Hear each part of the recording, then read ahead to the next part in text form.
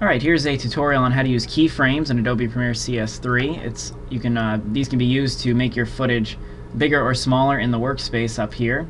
All you have to do to get to this is you have to make sure your effect controls window is on up in up here and then you can click on your footage, double click, you'll get this bar which just uh, um, which will give you the boxes to make your footage bigger and smaller.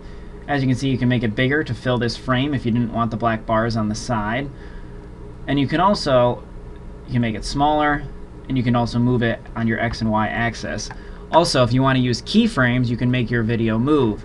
So let's say at the beginning of this clip we want it to be down small box over in this corner. What we'll do is we're going to turn on the position and scale keyframes here. All you have to do is click those and you can see there's a little line now inside the little stopwatch. And also you can see it added a keyframe to the timeline up here. So that's going to record where we have it right now.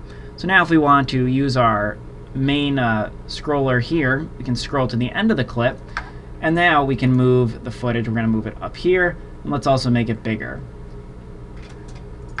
And so that, as you can see, recorded another keyframe at the end here. So now if we watch our footage in our main workspace, it's going to get bigger and move in a fluid motion as we do it, as it recorded the beginning and ending keyframes.